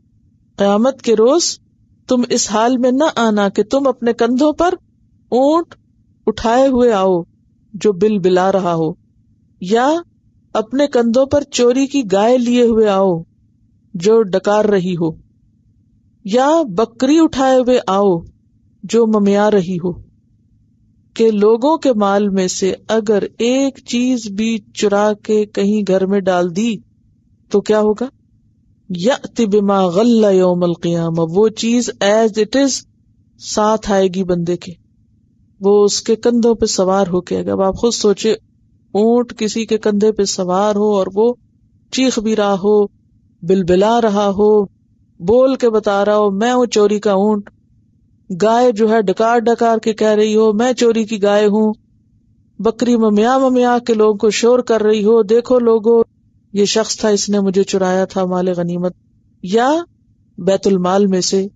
فرمایا، ایسا نہ ہو، ڈرنا اس مال کے بارے میں، کیونکہ یہ بما غلہ یوم القیامہ۔ قیامت کے دن وہ مال اس کو سامنے لا کے رکھنا پڑے گا۔ پھر کیا ہوگا؟ تم توفا کل نفس ما کسبت۔ پھر پورا پورا دیا جائے گا ہر شخص کو جو بھی اس نے کمائی کی ہوگی۔ کیا کمائی کی ہوگی؟ یعنی جو چیز چرائی ہوگی، یہ مراد ہے۔ اس کا پورا بدلہ اس کو دیا جائے گا۔ اور ویسے بھی عام اعمال جتنے بھی ہوں گے وہ لا یظلمون، اور وہ ظلم نہ کیے جائیں گے۔ یعنی ان پر ظلم نہ کیا جائے گا۔ جتنا انہوں نے کیا ہوگا، ان کو اتنا ملے گا۔ سورت اللہ نام آئے تھرٹی ون میں آتا ہے وہ یا ملون اوزا رحم اعلی ظہور اما اور وہ اٹھائے ہوں گے اپنے بوجھ اپنی پیٹھوں پر۔ حدیث میں کیا آتا ہے؟ کندھے پر اٹھائے ہوئے ہوں گے؟ قرآن پاک کی آیت میں کیا آتا ہے؟ کہ لوگ اپنے بوجھ کہاں اٹھا کے لائیں گے؟ اپنی ہی پیٹھ پر۔ اللہ سا اما یزرون۔ دیکھو کتنا برا ہے جو وہ اٹھا کے لا رہے ہوں گے۔ ذرا سوچیں قیامت کے دن کس قدر شرمندگی کی بات ہوگی کہ انسان کا چوری کیا ہوا مال اس کے کندھوں پہ اور اس کی پیٹ پہ لدا ہوا ہو اور وہ بول بول کے لوگوں کو بتا رہا ہو۔ اب یہ قرآن کی آیت ہے، اس میں کوئی شک کی بات ہے ہی نہیں کہ ایسا نہیں ہوگا۔ اور یہ گائے بکری تو بہت بڑی چیز ہے۔ سورت لکمان آیت سولہ میں آتا ہے، یا بنیا حضرت لکمان نے اپنے بیٹے سے کہا تھا کہ اے بچے، اے بیٹے، انہا ان تکو مثقال حبت من خردل، رائی کے دانے برابر بھی اگر کوئی چیز ہوگی، فتکن فی سخرتن وہ کسی چٹان میں رکھی ہوئی ہوگی۔ انسان کہیں سے رائی چرائے اور جا کے کسی پتھر میں چھپا دے۔ او پھر سماوات یہ کہ آسمان میں اوپر لے جا کے رکھ دے۔ او پھر یا زمین میں کہیں ہو۔ یا طب اللہ، قیامت کے دن اللہ اس کو سامنے لا کے رکھ دے گا۔ یہ تم نے خیانت کی تھی۔ یہ چرایا تھا۔ ان اللہ لطیف خبیر۔ بے شک اللہ باریک بین ہے، خوب باخبر خبیر کا کیا مطلب؟ خوب باخبر ہے۔ سورت القحف آیت فورٹی نائن میں آتا ہے وجہ عاملوا حاضرا۔ اور جو انہوں نے کیا ہوگا، وہ اپنے سامنے حاضر پائیں گے۔ ولا یظلم ربک احدا اور تیرا رب کسی پر بھی ظلم نہیں کرے گا۔ سب کچھ انسان کا کیا درا، اس کے سامنے لا کے رکھ دیا جائے گا۔ یہ چوری کا مال تھا، یہ چرایا ہوا، خیانت کیا ہوا، چھپایا ہوا، جو بھی کسی کا کچھ کیا ہوگا، وہ سب سامنے آئے گا۔ اس میں آپ دیکھیے کہ یہ جو ذرے کی بات ابھی میں نے سورت لکمان میں سے کی چھوٹی چیز کے بارے میں بھی حدیث آتی ہے۔ حضرت یزید بن خالد جوہنی کی روایت ہے کہ خیبر کے دن ایک شخص کا انتقال ہو گیا غزوہ خیبر میں۔ لوگوں نے اس کا ذکر حضور صلی اللہ علیہ وسلم سے کیا کہ فلاں شخص فوت ہو گیا۔ آپ نے فرمایا، جاؤ تم اپنے ساتھی کی خود نماز جنازہ پڑھ لو۔ آپ کو بتایا اگر آپ نے کہا خود ہی نماز جنازہ پڑھ لو۔ لوگوں کے رنگ فک ہو گئے، رنگ پیلے ہو گئے کہ یہ آپ کیا کہہ رہے ہیں کہ آپ نہیں جنازہ پڑھائیں گے؟ آپ نہیں بخش کی دعا کریں گے؟ رسول اللہ صلی اللہ علیہ وسلم نے فرمایا، تمہارے ساتھی نے راہ خدا میں خیانت کی ہے۔ صحابہ کہتے ہیں، ہم نے اس کا سامان کھول کے دیکھا، تو اس میں یہودیوں سے لوٹے ہوئے کچھ نقلی موتی جو پوت ہوتی ہے، وہ ملے، جو صرف دو درہم کی قیمت کے تھے۔ اتنی حقیر سی چیز تھی۔ نکلی موتی کیا چیز ہوتی؟ کچھ بھی نہیں۔ لیکن اس نے کیا کیا؟ بس ایسے دل للچا گیا ہوگا۔ وہ دیکھ کے چھوٹی سی پوٹلی، دو درہم کی، وہ اٹھا کے اپنی چیزوں میں ڈال لی، الگ کر کے۔ بتایا نہیں کسی کو۔ خیانت، کہ اس سے کیا فرق پڑتا ہے؟ یہ متا امام مالک کی روایت ہے۔ بخاری کی ایک اور روایت میں آتا ہے کہ آپ صلی اللہ علیہ وسلم کے ایک خادم تھے جن کا نام کرکرا تھا۔ جب وہ فوت ہو گیا، تو آپ نے فرمایا کہ وہ دو زخم ہے۔ لوگوں نے جا کے اس کا سامان دیکھا، تو اس میں ایک ابا ملی، جو اس نے خیانت کی تھی، چھپا کے رکھ لی تھی۔ عام طور پر ایسا تھا نا، نوکر چاکر لوگوں کی عادت کیا ہوتی؟ گھر میں کام کاج کیا اور چھوٹی موٹی چیزیں اٹھا کے الگ چھپا لی۔ اب آپ دیکھیے کہ غل کو سمجھیے، غلول کو سمجھیے۔ پوائنٹ وائز دیکھیے، نمبر ایک کیا ہے؟ مطلق خیانت۔ کسی بھی قسم کی چوری، لفظی مانا نمبر دو، خصوصاً مال غنیمت میں۔ مال غنیمت کون سا تھا جو جنگ کے بعد ہاتھ آئے؟ یہ خصوصی مانا غلول۔ اس کی خیانت۔ نمبر تین، بیت المال کی چوری۔ مال غنیمت کی چوری اتنی بڑی چوری کیوں ہے؟ کیونکہ وہ سارے لشکر کا حق ہے۔ ٹھیک ہے نا؟ وہ کسی ایک شخص کا حق نہیں تھا۔ وہ دو درم کے موتی چرانا۔ وہ کس کے تھے؟ سب کے تھے۔ سب کا حصہ تھا اس میں۔ لہذا کوئی بھی ایسا مال جو لوگوں کا مشترک مال ہو، جس میں ایک شخص کا نہیں، سب کا حصہ ہو جو سب کے لیے ہو، جو سب کے فائدے پہ لگنا ہو، جو سب کے فائدے پہ خرچ ہونا ہو، یا جس کا کوئی ایک شخص مالک نہ ہو، بلکہ سب مالک ہو سمجھ رہے؟ یہ بہت اہم نقطہ ہے سمجھنے کا۔ بیت المال وہ مال کا گھر جس کا مالک کوئی ایک شخص نہ ہو، بلکہ بہت سے لوگ مالک ہوں۔ اب اس میں آپ دیکھیے کہ مثلاً آج سے میں ریلیٹ کروں گی اس کو اب۔ پہلے آپ اس نقطے کو سمجھیے۔ کہ مال غنیمت کی چوری، بدترین چوری کیوں؟ کیونکہ وہ سب کا حق مارا گیا، پورے لشکر کا حق تھا وہ، ٹھیک ہے؟ اب آپ دیکھیے کہ بیت المال کی چوری، بیت المال کیا ہوتا ہے؟ جس میں سب کا کٹھا مال ہوتا ہے، مثلاً ڈونیشنس کسی مسجد کی ڈونیشنس کسی مدرسے کی ڈونیشنس کسی ادارے کی ڈونیشنس محکمہ اوقاف کے اموال، حکومت کا خزانہ حکومت کا خزانہ کسی ایک شخص کا تھوڑی ہوتا ہے۔ کس کا ہوتا ہے؟ عوام کا ہوتا ہے نا؟ اسی طرح کسی ادارے کا مال کس کا ہوتا ہے؟ کسی ایک شخص کا ہوتا ہے۔ کس کا ہوتا ہے؟ سب کا ہوتا ہے۔ کسی مسجد کے لیے جو بھی ڈونیشن اکٹھی ہوئی، وہ کس کی ہوتی ہے؟ سب کی ہوتی اب اس مال میں سے اگر کوئی بڑی چیز تو چھوڑے، چھوٹی سی چوری بھی کرتا ہے یا اس سے غفلت برتتا ہے، تو وہ بہت بڑی چوری شمار ہوتی بہت بڑی خیانت۔ ایک ابا کے پیچھے اپنی جنت کھو دی دو درہم کے موتیوں کے پیچھے اپنی آکبت برباد کی۔ یہاں آپ صلی اللہ علیہ وسلم ابو الولید کو کیا کہہ رہے ہیں؟ جو کہ زکوٰۃ کا مال، زکوٰۃ کا مال بھی ایک طرح سے ڈونیشن ہی ہے نا کٹھا ہو گیا۔ زکوٰۃ کے مال میں کیا کہہ رہے ہیں؟ کہ دیکھو، کوئی بکری نہ اٹھا لینا کسی کی۔ یعنی لوگ اللہ کے رستے میں دے فی سبیل اللہ وہ بکری دے اور تم کیا کرو؟ اپنے گھر چھوڑ دو جا کے۔ اپنے ذاتی استعمال میں اس کو لے آؤ۔ ذاتی فائدہ اس سے اٹھانے لگو۔ تو وہ آخرت کے خسارے کا سبب ہے۔ سخت نقصان کا سبب ہے۔ کیوں؟ اس لیے کہ نمبر ایک تو چونکہ وہ کسی ایک کا ذاتی مال ہی ہوتا ہے نا، اپنے ذاتی مال کے لیے ہم کیا کرتے ہیں؟ بہت کیئرفل ہوتے ہیں۔ اپنا بیگ ہر وقت سنبھال کے رکھتے ہیں۔ اپنا اکاؤنٹ، اپنی ہر چیز کا خود خیال کرتے ہیں۔ لیکن جو فیس ابھی لے اللہ کا مال ہوتا ہے تو بعض اوقات اس کی وہ کیئر نہیں ہوتی۔ کیا سوچ کے؟ ہاں بس ٹھیک ہے نا، اللہ کا مال ہے، اللہ حفاظت کرے گا۔ نہیں، اگر آپ کے ہاتھ میں ہے، آپ کی ذمہ داری میں تو آپ کی پوچھ ہے۔ اور اس میں دوسری چیز یہ یہ بھی بڑی اہم ہے کہ جس شخص نے جس کام کے لیے کوئی ڈونیشن دی ہو، اس کو اسی کام میں لگنا چاہیے۔ دوسرے کام میں نہیں لگنا چاہیے۔ مثلاً اگر کسی نے ڈونیشن دی ہے کہ آپ اس سے کنواں کھدوا دیں، مثال کے طور پر، تو اب آپ کو کیا کرنا پڑے گا؟ کنواں ہی کھدوانا پڑے گا۔ کیوں؟ اگر آپ نے اس کو کسی اور میں لگا دیا، تو یہ بھی خیالت ہوگی۔ اگر کسی نے کہا کہ اس سے کسی یتیم اور مسکین کو کھانا کھلا دیں، تو اب آپ کو کیا کرنا پڑے گا؟ وہی لگانا پڑے گا۔ اگر کسی نے کہا کہ اس سے فلاں بلڈنگ بنوا دے تو آپ کو بلڈنگ میں ہی لگانا پڑے گا۔ آپ اپنی مرضی سے کیا نہیں کر سکتے؟ اسے تبدیل نہیں کر سکتے۔ اور اگر آپ وہ ذمہ داری نہیں اٹھا سکتے، تو آپ اس مال کو واپس لوٹا دیں۔ یا آپ اسے انفارم کر دیں بھائی یہ ممکن نہیں ہوا، اگر تم اجازت دو تو میں اس کو یہاں اور یہاں کر دوں۔ اور اگر وہ اجازت دے تو ٹھیک، ورنہ اپنا مال واپس لے جائے۔ کسی کی خاطر ہم اپنی آکبت کیوں برباد کریں؟ ہم اپنی آخرت کو کیوں خسارے میں ڈالیں؟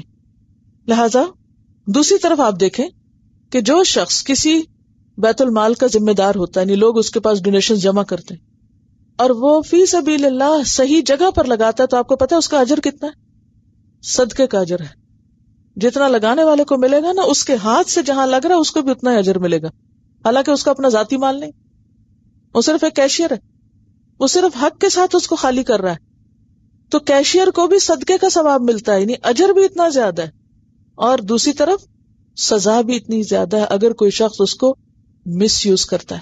آج آپ دیکھیں کہ بعض اوقات اداروں کے مال جو ہوتے ہیں، سانجے مال جو ہوتے ہیں، یا عوام کی جو پراپرٹی ہوتی ہے لوگ اس کو نقصان پہنچاتے ہوئے ذرا نہیں دکھتے۔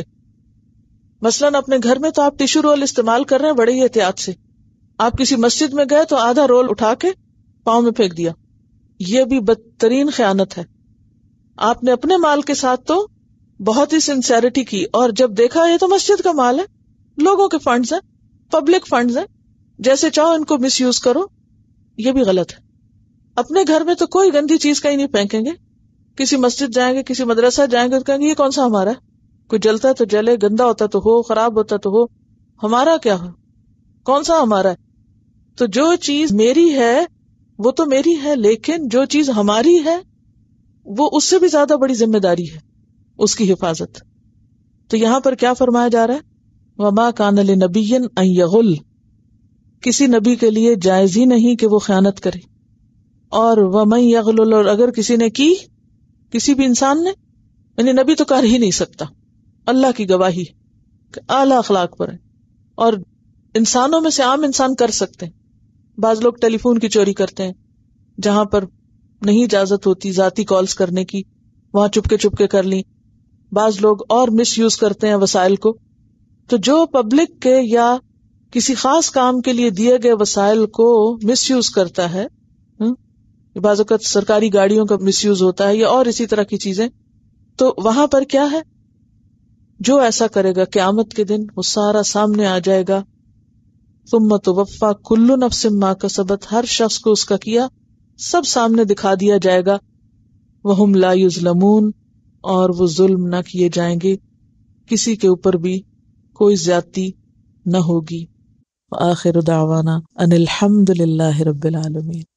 سبحانک اللہم و بحمدک نشہد اللہ الہ الا انت، نستغفرک و نتوب الیک۔ السلام علیکم و رحمۃ اللہ وبرکاتہ۔